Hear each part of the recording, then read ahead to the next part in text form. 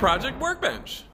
Hey, it's Matt Munson for the Project Workbench, and we are back for another jam-packed, exciting episode of On Location. Today we're going to take a look at the 1966 Batman series. Atomic batteries to power. Turbines to speed.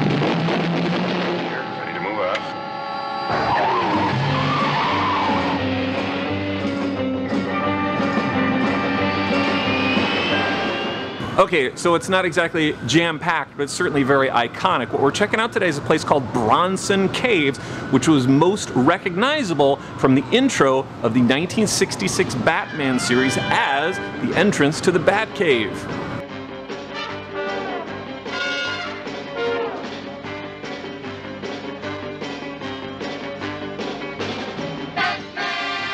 Now in the About section below, I will list a link to the parking lot of the head of this trail, which you can then get out of your car and walk about 10 minutes uh, up a very gentle incline of a fire road where you will find Bronson Caves.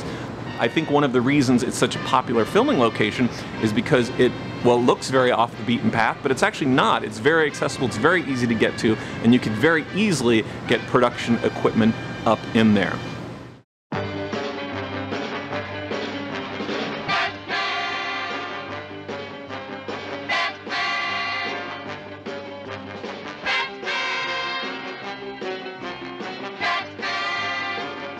We only spent about a half hour poking around. There's really not that much to see other than the iconic mouth opening of the cave. There's a great view of the Hollywood sign up in there. Overall round trip, it's maybe 90 minute exercise, maybe less. I don't know. Check it out. I have so much more location footage that I have shot that I want to incorporate into future episodes of On Location. So if you are interested, please be sure to hit that subscribe button. Give me a thumbs up. If there's anything you'd like to see me scout out or research, write it in the comments section below and let me know what you think. And we will see you for the next one. In all its glory. It really hasn't changed that much over the years except for the fence out front. It's a really beautiful building.